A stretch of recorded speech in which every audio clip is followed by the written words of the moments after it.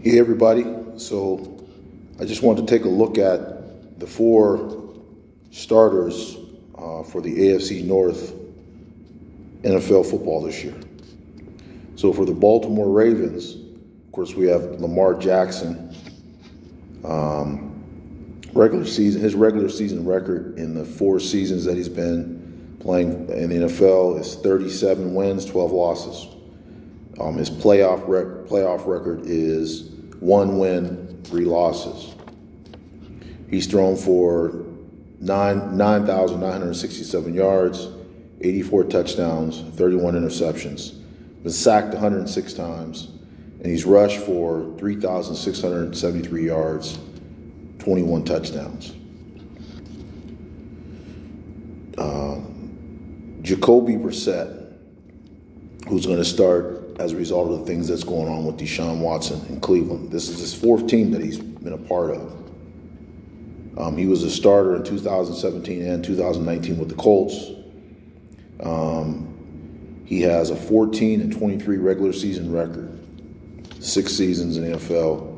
He's thrown for 7,742 yards, 36 touchdowns, 17 interceptions.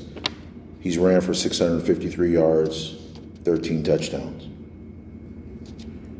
Joe Burrow for Cincinnati Bengals. Um, he has a regular season record of 12, 13, and 1. Um, playoff 3 and 1. Led the Bengals to the Super Bowl last season.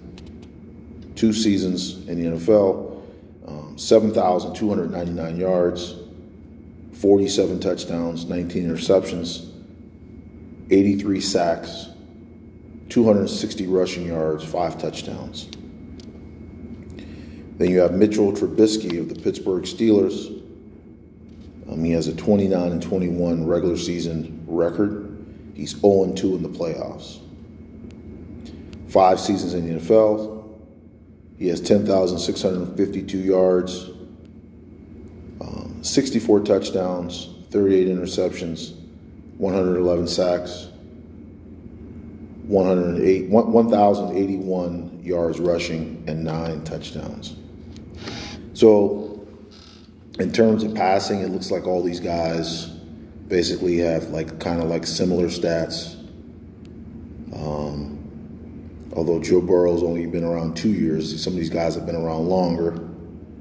Um, looks like they all bring mobility, some type of mobility, um, to the to the table because they've all rushed for, you know, at least over 200 yards. With Lamar Jackson being having a decided advantage in that, uh, based on the type of offense that he's running in Baltimore. Um, just if I had to rank these guys myself, um, from one to four, I would give Lamar Jackson the number one spot just based on he's played AFC North football. He knows what it's all about. Um, his passing is definitely improving, and he, and he, brings his athletic ability and running ability to the table. Um, number two, I'd say Joe Burrow, just based on last year, um, leading his team to the Super Bowl. I can't give him the edge over Lamar Jackson yet because I want to see him do it another year a couple years before I would put him into that spot.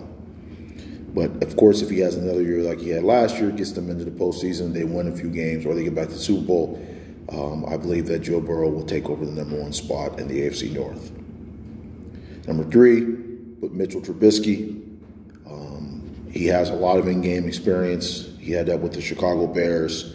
Um, he's played um, like 50 games, or 650 or 60 games um, five seasons, so he's seen he's seen a lot. Um, he's experienced. He's thrown for. He did make the Pro Bowl one year. He's thrown for around eleven thousand yards. Um, he is sacked. All these guys are like sacked a lot. It's one thing I noticed.